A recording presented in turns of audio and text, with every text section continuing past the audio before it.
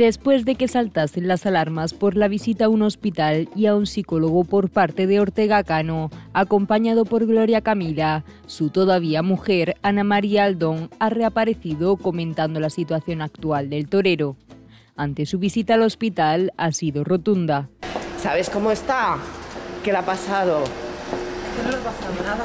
Sin embargo, la visita a un psicólogo ha merecido expresiones de incredulidad por parte de la colaboradora. Se está poniendo en manos de médicos. Eh, le podíamos ver salir de un médico psicólogo.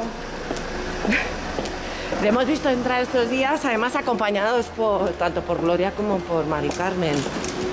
Se desconocen los motivos que habrían llevado a padre e hija a acudir a estas citas, si sería para Gloria Camila o para el propio Ortega Cano, ya que ninguno quiso dar declaraciones en el momento.